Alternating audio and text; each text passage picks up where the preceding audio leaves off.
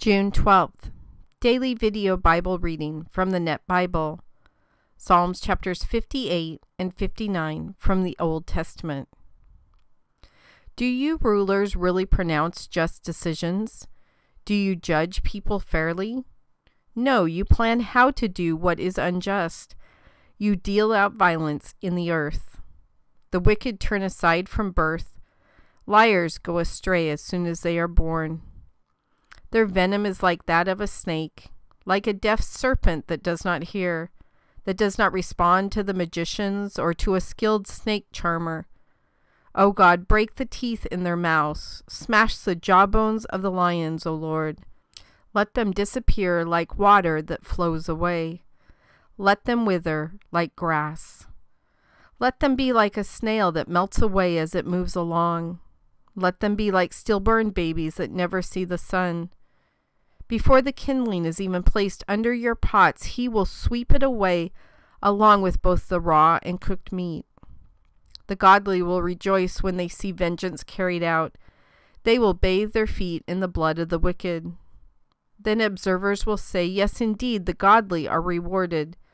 Yes, indeed, there is a God who judges in the earth. Deliver me from my enemies, my God. Protect me from those who attack me. Deliver me from evildoers. Rescue me from violent men. For look, they wait to ambush me. Powerful men stalk me, but not because I have rebelled or sinned, O Lord. Though I have done nothing wrong, they are anxious to attack. Spring into action and help me. Take notice of me. You, O Lord God, the invincible warrior, the God of Israel, rouse yourself and punish all the nations. Have no mercy on any treacherous evildoers. Selah. They return in the evening. They growl like a dog and prowl around outside the city. Look, they hurl insults at me and openly threaten to kill me, for they say, Who hears? But you, O Lord, laugh in disgust at them. You taunt all the nations. You are my source of strength. I will wait for you. For God is my refuge. The God who loves me will help me. God will enable me to triumph over my enemies. Do not strike them dead suddenly, because then my people might forget the lesson. Use your power to make them homeless vagabonds, and then bring them down. O Lord, who shields us. They speak sinful words, so let them be trapped by their own pride and by the curses and lies they speak. Angrily wipe them out. Wipe them out so they vanish. Let them know that God rules in Jacob and to the ends of the earth. Selah. They return in the evening. They growl like a dog and prowl around outside the city. They wander around looking for something to eat. They refuse to sleep until they are full. As for me, I will sing about your strength. I will praise your loyal love in the morning, for you are my refuge and my place of shelter when I face trouble. You are my source of strength. I will sing praises to you, for God is my refuge, the God who loves me.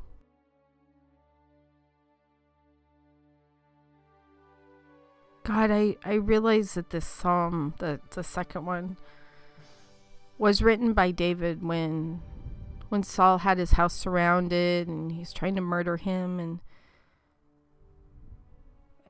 and I realize that that's what this is about, but I also realize that you're very intentional about all of the stories and words that are put into the Bible.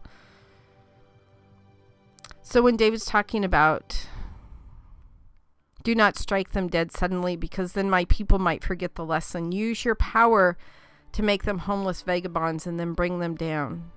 They speak sinful words. Let them be trapped by their own pride and by the curses and lies they speak.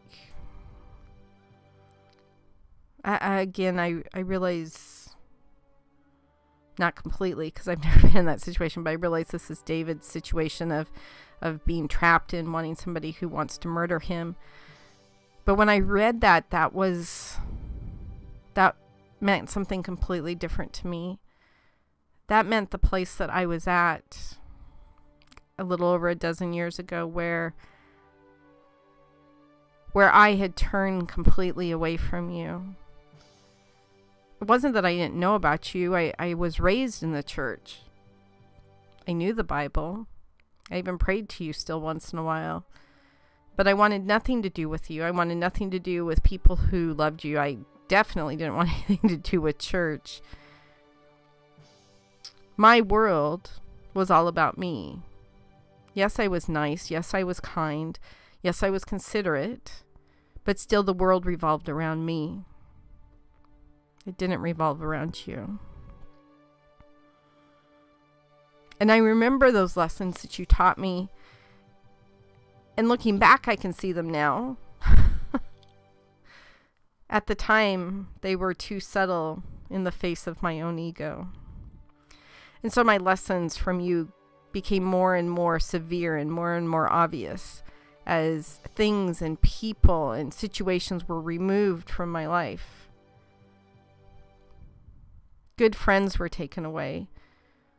Jobs were taken away. Money was taken away. And eventually my home was taken away. And yet, through all of that, your point wasn't to destroy me. Even though to some people it may sound like it.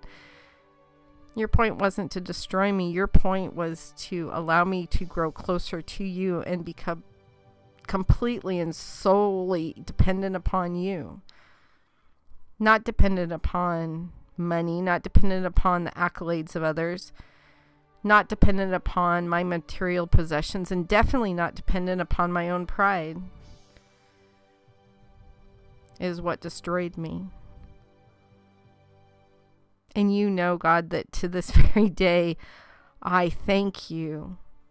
I thank you so much for not destroying me, but for loving me enough to stop me, for teaching me the lessons I needed to be taught, even removing the house over my head in order to bring me down, in order to take away my ego. God, there's so many people in the world right now that are kind, considerate, loving people, but their world still revolves around them. They're so incredibly selfish, just like I was. Sometimes still am. When our world is not all about you, it automatically becomes all about us.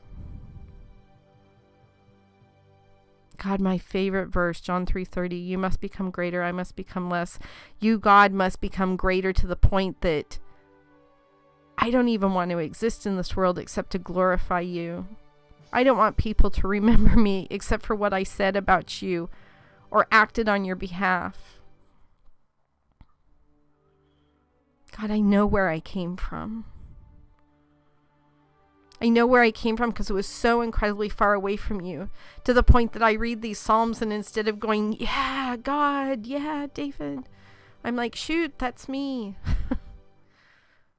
I'm Saul. I'm outside the house. I'm making it all about me. My pride is bringing me down. My choices, my consequences. God, thank you for loving me enough to stop all of that. For making it a lesson so obvious that finally I understood. Finally, my heart changed. Finally, my mind accepted what was happening finally allowing your words to sink into my life so that I could begin to live them every day. God, I know I still fall back into that trap of it's all about me. Please continue to humble my path, allowing me to submit to you every single day and sometimes every hour.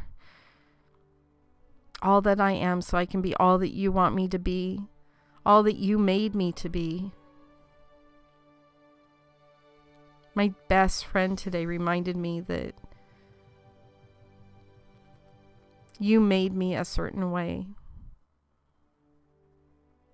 And there are times, there are times, God, when I'm really frustrated with who I am. I'm frustrated with the gifts you gave me. And I should probably ask for forgiveness for saying that, but I truly get frustrated sometimes. You gave me a lot. and for that, I'm incredibly thankful. You gave me a lot in my life. You have given me so many gifts. But as I become less and you become more, I know that those gifts have to all be used for your glory. And you know, because we continue to have this conversation, I am exhausted. I am trying my hardest to use all those gifts that you gave me. And sometimes it's really frustrating. And sometimes I just want to go back to making it all about me and just be trapped by my own pride, as the psalm says. I don't know why I want to go back to a prison of my own selfishness. I guess I think it will be easier. If only I could remember how incredibly hard and difficult and not peace filled my world was back then without you. God, I know that my strength isn't enough to get me through all of this. My strength won't work in this situation. I call upon your strength so that all the incredible gifts that you have for some reason given to me, that I can use them all for your glory, not for mine. That all the talents, all the abilities, all of the knowledge I have can be used to glorify you. I don't want to be trapped by my pride. I don't want to be in this jail of selfishness. I want my life every single day to be lived to its fullest for you and for your people. Thank you for your grace today. Thank you for your patience with me as I try and figure out what all of this looks like. I ask for continued strength to continue to move forward in the honor of the ministries you've given me. I ask that it continue to be more and more about you and less and less about me. In your son's name I pray. Amen.